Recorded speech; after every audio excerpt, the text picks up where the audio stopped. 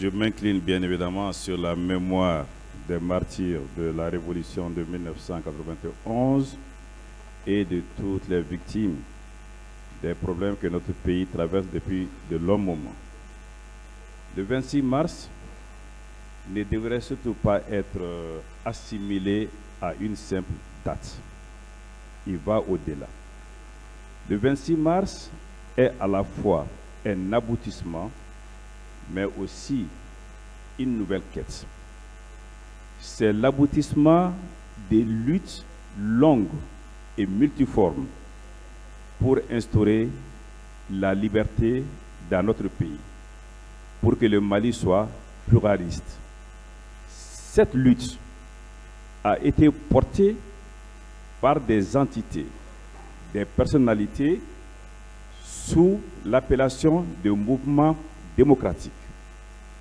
Ce mouvement démocratique qui s'est constitué dans la foulée des luttes commencées, structuré en 1990, est arrivé aux affaires le 26 mars 1991, a géré une transition de 15 mois et le 8 juin 1992 a transmis le pouvoir à un président élu. La mission du mouvement démocratique était principalement d'instaurer, de mettre en place les fondements d'un État démocratique.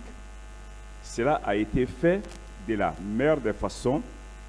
Et là, le mouvement démocratique a parfaitement rempli sa mission. Mais après, ce qui s'est passé au Mali pouvait engager des personnalités issues du mouvement démocratique, mais ce n'était plus le mouvement démocratique. La démocratie est le meilleur des systèmes politiques. Les seules alternatives qui existent à la démocratie, c'est la dictature et c'est le populisme. Ceux qui ont vécu sous la dictature savent de quoi je parle. Le populisme, pour moi, bon, le modèle démocratique, par conséquent, ne peut en aucun cas être mis en cause.